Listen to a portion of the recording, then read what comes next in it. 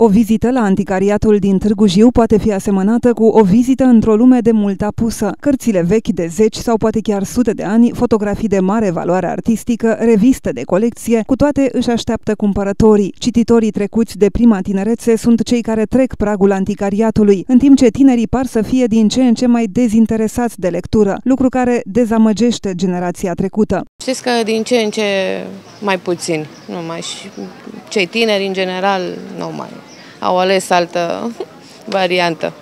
Nici prețul cărților nu pare să fie un avantaj pentru tinerii zilelor noastre. În cărți chiar zilele trecute, văzusem una, o aveam noi, cred că la 4 lei, cam așa, și am văzut-o în librărie de Ernesto Sabato, era vreo 40 și ceva de lei.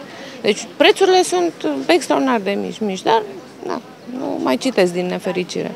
Clienți fideli rămân persoanele vârstnice, iubitori de literatură și artă veche, persoane care apreciază valorile la alte standarde. O carte nu e, nu are preț.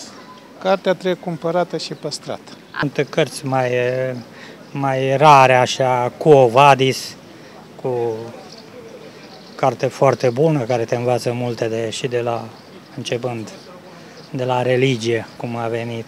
Așa, și și cărți în general de aventură, Sfinxul mă interesează, mai mult astea acum. Dar văd că nu, nu, nu se prea vând, tineretul nu prea citește. Tot de la anticariat, iubitorii de artă pot să achiziționeze gramofoane, aparate de fotografiat cu burduf, ceainice, sculpturi sau costume populare.